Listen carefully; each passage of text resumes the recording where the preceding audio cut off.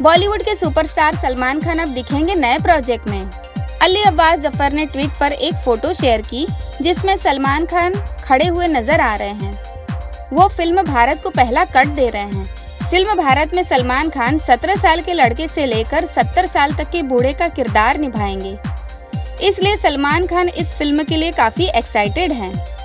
Film Bharat में सलमान खान दिखेंगे प्रियंका चोपड़ा के साथ।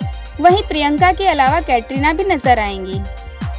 डायरेक्टर अली अब्बास ज़फ़र की फ़िल्म भारत, एक कोरियन फ़िल्म की रिमेक है। फ़िल्म भारत अगली ईद को रिलीज़ होगी। उम्मीद करते हैं कि ये फ़िल्म बहुत बड़ी हिट होगी। बॉलीवुड और बॉलीवुड की सेलिब्रिटी की ऐसी मज़ेदार खबर जानने के लिए देखते रहें हमारा चैनल। और हाँ सब्सक्राइब करना ना भूलें।